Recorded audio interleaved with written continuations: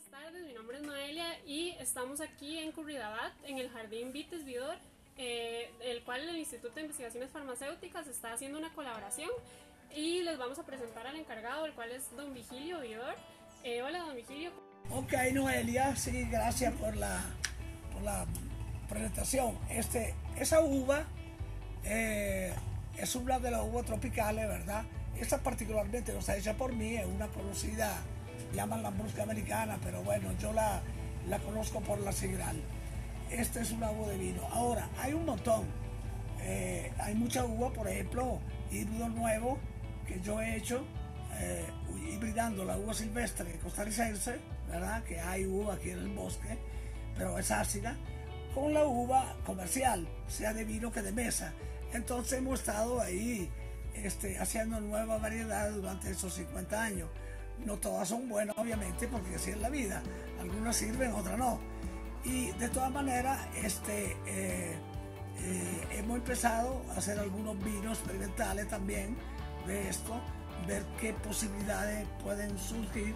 Por lo tanto, este, podemos estar, inclusive con el instituto, etcétera, podemos estar investigando eh, contenido medicinales, inclusive de la uva, propiedades alimenticias, un montón de cosas que se pueden ver, porque la uva, como todos ustedes saben, es una planta bastante medicinal. Ahora, eh, no es solamente la, idea de uva de mesa, también uva de vino y también de subproducto de la uva, eh, entre los cuales están los farmacéuticos, de eso estamos discutiendo. Pues. Estamos viendo también la uva silvestre, no solamente la uva, lo híbrido que hago.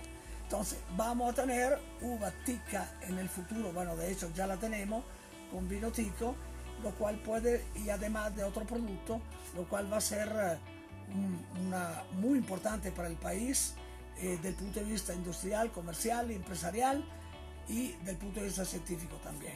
Son cosas muy importantes que vale la pena apoyar.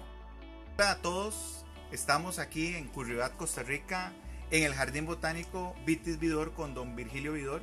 Mi nombre es Germán Madrigal, soy el director del Instituto de Investigaciones Farmacéuticas INIFAR de la Facultad de Farmacia de la Universidad de Costa Rica y estamos planteando una colaboración con el señor Virgilio Vidor para estudiar las uvas tropicales, los híbridos entre Vitis tilifolia, Vitis vinifera y Vitis lambrusca que como ven aquí están ya produciéndose. por el jardín, pero antes no se olviden de seguir las páginas de INIFAR, de Vitis Vidor y don Vigilio Tanto en YouTube, Facebook como Instagram. Entonces ahora vamos a ver el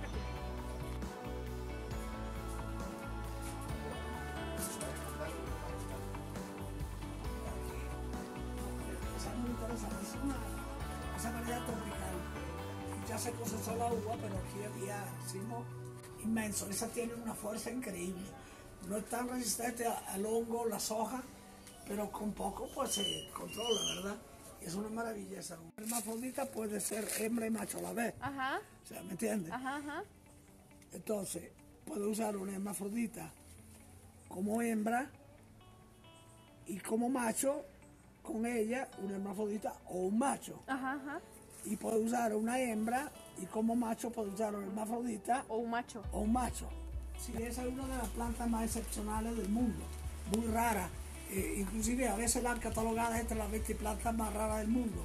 Es un dracunculus, todavía está joven. Eso va a ser más o menos a altura de 2 o 3 metros, esa hoja. Es una hoja nada más, ¿verdad? Va a ser, la, ¿ves? la piel parece como culebra, muy interesante. Y de repente a los 3, 4 años, ya después de haber, porque tiene que crecer, está joven, ¿verdad? Esta produce una, una flor gigantesca, enorme, de la familia de las calas, ¿verdad? de la misma familia de la cala. Entonces, y es roja la flor, tiene un largo de 40, 50 centímetros, muy grande, y tiene adentro una, Receptáculo.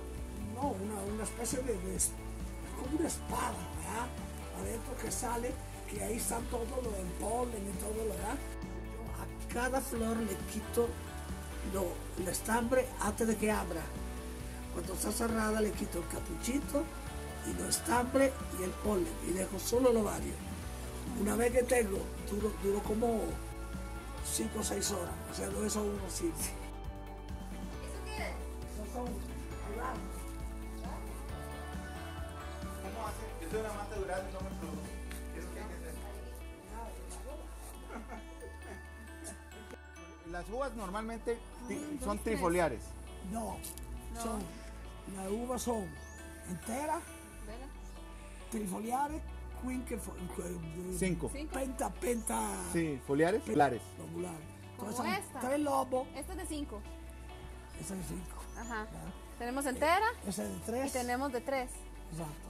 Y entonces, Una, cinco y tres. Hay de siete.